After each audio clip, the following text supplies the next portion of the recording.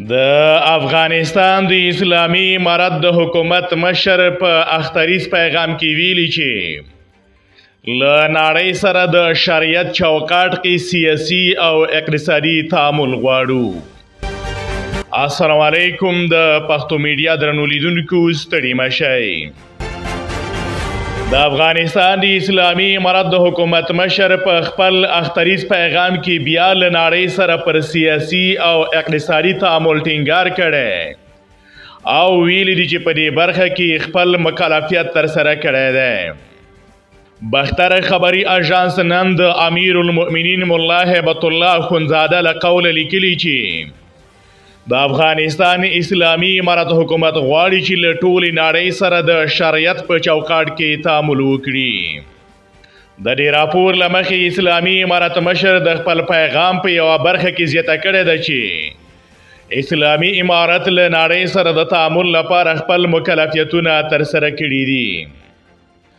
نوموړي په داسې حال کې د خپلو مکلفیتونو تر سره کېدو خبره کوي چې د لوی اختر له رسېدو سره سم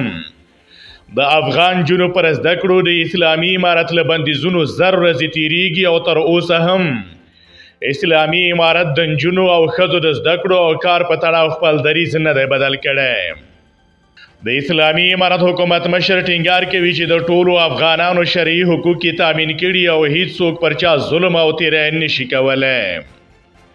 د اسلامي امارت مشر مولا هیبت الله خونزاده د غراز زیاته کړې ده چې اسلامي امارت د کونډو یتیمانو معلولینو او بیوزله د حقونو ټینګښه او مرستې ته کلکه ژمنتیا لري او لشتمنو غواړي چې د بیوزلو او هیواد ته د رستنو شو کډوالو لاسنیوي وکړي د امیر المؤمنین مولا هیبت الله اخوندزاده له څرګندونو څو ورځې مخکې اسلامي امارت په ټولو دولتي ادارو کې د ښځینه کارکوونکو تنخواوې پنځه زره افغانۍ ته ښکته کړې چې دغه پریکړه له پراخو غبرګونونو سره مخ شوه د باختر اژان د راپور لمخې مولا هیبت الله خونزاده امنیتي مسولینو ته لارښوونه کړې چې د اختر په ورځو کې د خلکو خوندیتوب ته پاملرنه وکړي